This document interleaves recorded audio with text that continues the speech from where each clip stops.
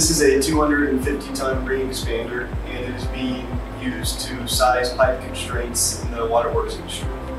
This is a pull down type expander so whenever the customer loads their ring onto the desired size or shoe that they're expanding, the cylinder will actually pull down the cone which then expands the corresponding wedges which expands the shoes.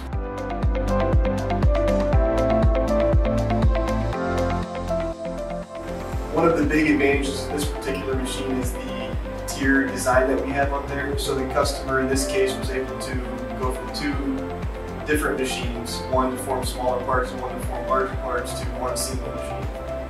Uh, aside from that, one of the main advantages of this is you essentially eliminate all of your changeover times. One of our unmatched advantages here at Beckwood Press is our ability to be a one-stop shop for our customers. Um, we can essentially provide any type of forming equipment for just about any application. And the ring expander here is just another example of one of our Beckwood offerings.